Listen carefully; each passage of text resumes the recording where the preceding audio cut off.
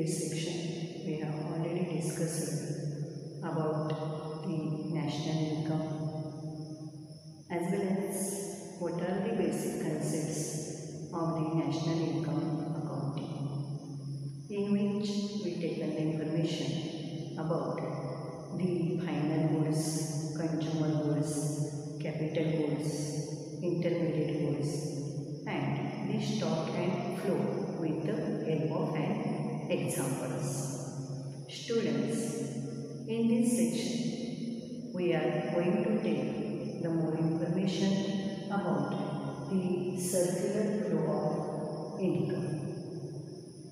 Students, all of you know, in our economy, there are innumerable producers and the households, means the consumers. Also, there is the continuous flow of the economic activities. Economic activities means the consumption, production, distribution and the exchange of the goods and services. And these economic activities generate the income as well as the expenditure. The flow of this income and uh, expenditure continuously flow among the sectors of the economy. All of you know there are four sectors of the economy that is the household sector, firm or maybe the government and the external sector. The income and expenditure continuously flow among these sectors of the economy. And these sectors interrelated and interdependent on the each other. Students, today we are going to take the more information about the circular flow of income in a simple economy. Then what is the simple economy? The simple economy means it is a closed economy. Closed means in which there is no movement or there is no external trade. Means there may be the four kinds of the functions during the production of the goods and services. Means the contribution made by the human labor. Remuneration which is called the wages. And the contribution which is made by the capital. The remuneration which is called the interest the contribution which is made by the entrepreneur remuneration which is called the profit and the contribution which is made by the natural resources the remuneration which is called the rent. Then the circular flow of income in an economy. For there are some assumptions are there. Then what are the assumptions for the circular flow of income? See first one is there are the two sectors of economy. That is the household sector and the firms means the Then second addition is the household sectors are the owners of the factors of the production. See here, the household sectors are the owners of the factors of the production means the land, labor, capital and the organization. And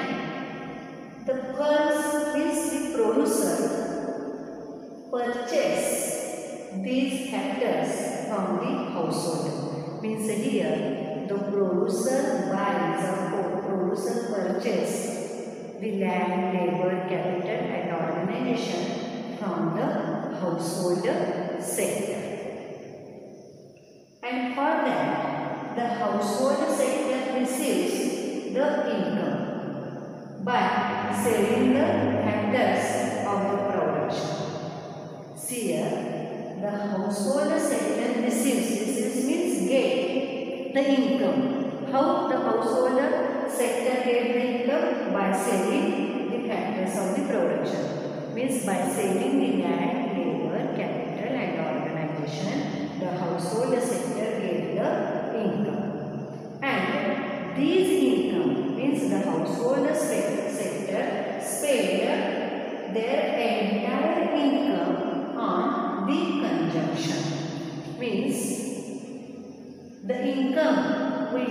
get from by selling the factors of the production. The household sector may be spent on the consumption purpose means use of the goods and the services. Means there is no saving. Why there is no saving? Because here the household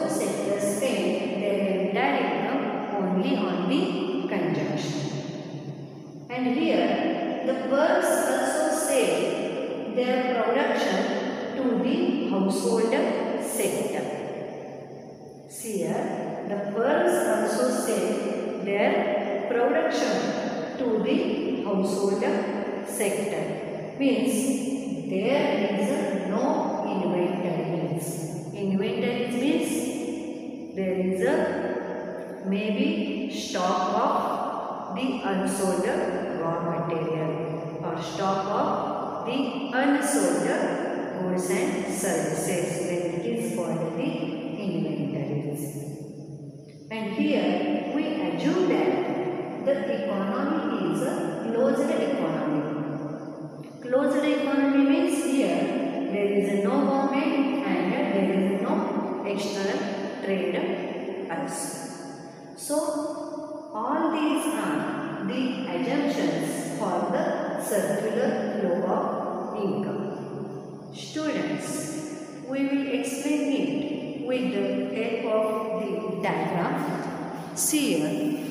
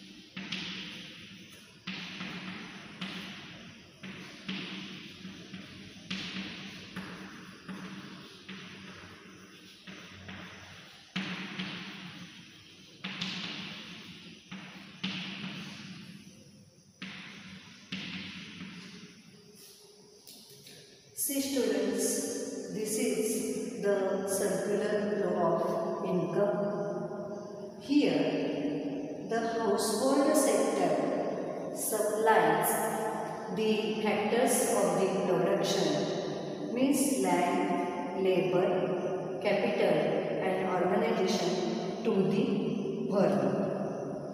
And here, the firm produces and supply the goods and services to the household sector. See here, the household sector provides the factors of the production means the land, labor, capital and organization to the firm sector. And with the help of this land, labor, capital and organization, the firm may be produces and supply the goods and services to the household sector. And here, the supply of the goods and services from one sector to another sector. It is the real flow. See here, the supply of goods and services from one sector to another sector. It is a real flow. Means here the outer sector shows this flow. Means here the firm makes the factor payments. See here the firm makes the factor payments. Means here the firm makes the payments for the land, rent, for the labor, wages, for the capital, interest for the organization, profit. As a reward for the factors of the production to the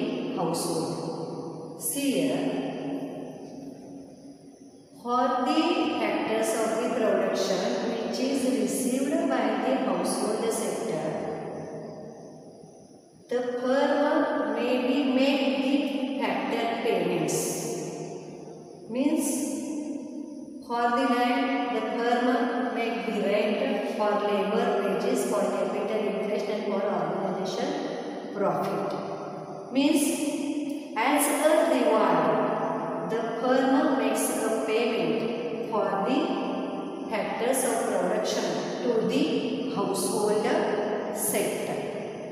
And here, the payment which is received by the firms for the factors of the production means the income which is gained from the factors of the production the household sector spend this income only on to buy the goods and services which is produced by the firms. And here these inner circle shows us the money flow. Means here the household sector means the firm maybe makes the rewards for the factor payments, rent, wages, interest and profit means uh, here the household sector get the income and this income yeah, household sector spend on to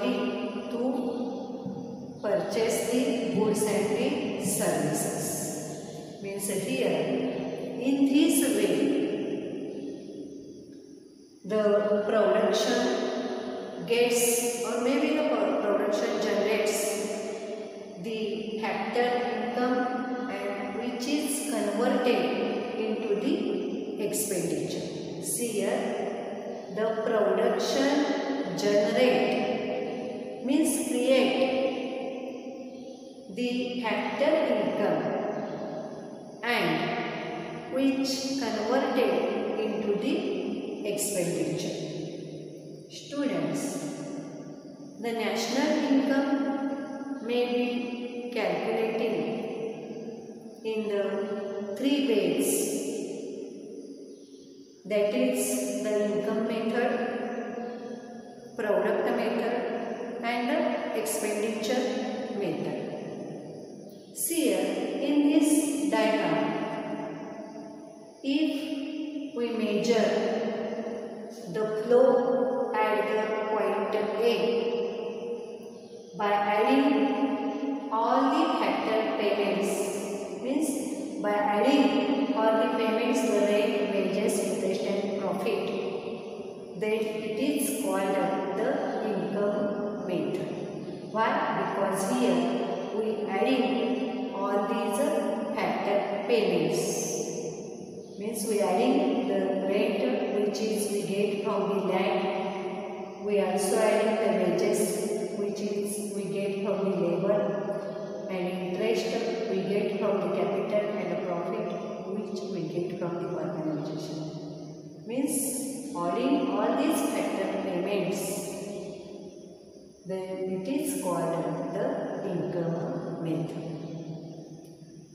If we measure at the point B the aggregate spending on the goods and services, then it is called the expenditure method. Why we call here the expenditure method? Because here the household sector spending its entire income only on to purchase the goods and services. So it is called the expenditure method. And if we measure the flow at the point C, means here the aggregate value of the final goods and services which is produced by the firms, then it is called the product method. Means students, here the maybe the production is the continuous activity. Why it is the continuous activity? Because all of you know the human wants are unlimited and it makes flow of income in a circular way. So students, this is all about the circular way of income in a simple economy. Hope all of you understood this concept. This question will be asked in your examination for 6 months. Then that time you should write. Means uh, first you should write the assumptions for the circular flow of income. Then afterwards you draw the chart of the circular flow of income. And then give the explanation of the chart. I hope all of you understood these concepts.